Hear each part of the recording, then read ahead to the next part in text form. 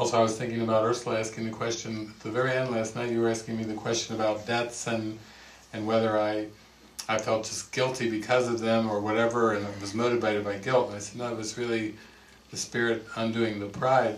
But then um, Noelle was talking to me today where she had, this would, this would be maybe not seen as a sickness symptom, but we could use relationship issues or health issues or anything, but she was telling me today that she had a time in her life when she was $30,000 in debt. And it felt very, very heavy. And I said, oh, maybe you'll bring that up today for Ursula because you know that it's something that really strikes home. Maybe you don't you not have a diagnosis or anything of cancer, but if you have a debt and you're feeling the burden and the weight, what did you do when you found yourself thirty thousand dollars in debt? So the um, uh, yeah the debt. Yeah, back to that that lineage of causation. I experience debt as almost like this weight. I, I every time I think about oh god, thirty thousand in debt, and actually it's a little more than thirty thousand. I I would feel heavy. I would feel burdened by the weight of it, and then I began to go back in my mind. Okay, if the cause, if that feeling of heaviness is not anything in the external, then I must be feeling heavy. in other words, the weight was the internal feeling that I am deficient, I am guilty, I'm lacking. And then the outpicturing of it that I dreamed up in my dreamscape was debt at that time. That the debt was not the cause of the weighty feeling, the weighty feeling was the cause of the debt. And in that, I just, I just got such a illuminated feeling of I don't have a debt problem.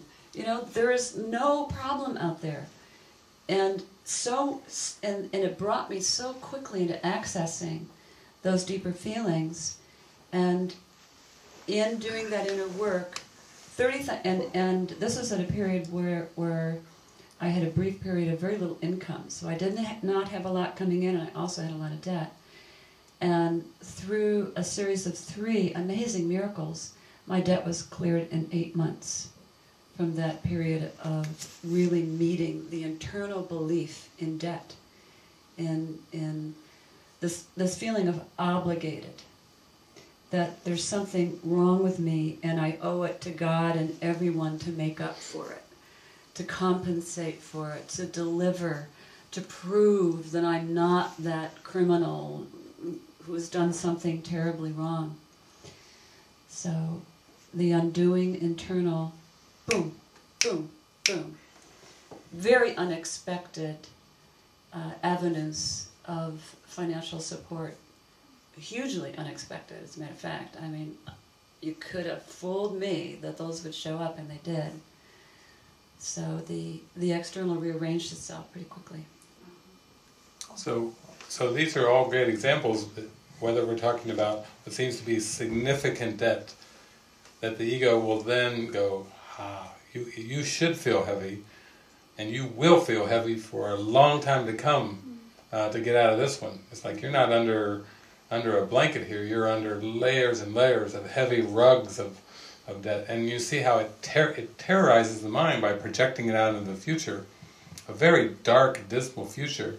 It's the same with relationship. If you've had extreme relationship difficulties and you've had multiple partners and lots of flare-ups and emotions and whatever, you have to start to say, wow, it's, it can't really be that these relationships are the problem. It just means that they're part of a distraction for facing something inside. Mm-hmm. Uh, and, and it's this causation thing that Noelle was mentioning. The, the basic underlying assumption underneath it is, I've got problems, and they're problems in the world. And I'm going to have to do lots and lots of very complicated things to try to extract myself from a very, very, very tangled mess. It's the way that it seems on the surface. And when you start to, to say, wait a minute, no, no, no, no, this can't be that way. It must just be an invitation for me to go much, much deeper inside. And if I'm really willing to do that authentically, to go much, much deeper inside, the Spirit will give me the means of support the people, the symbols, everything I need, if it's such a glorious purpose. Maybe I've been avoiding this looking inside for thousands of years. We'll say many lifetimes. Which can, when most people think of one lifetime, it can seem like a pretty long time. But when you think of thousands of years at avoiding a particular uh, solution of going inside, then once you have that insight, like with that 30,000 plus debt, it, it, was gone in, in eight months because there was such an intense focus on on tapping into the feelings and what was below those feelings.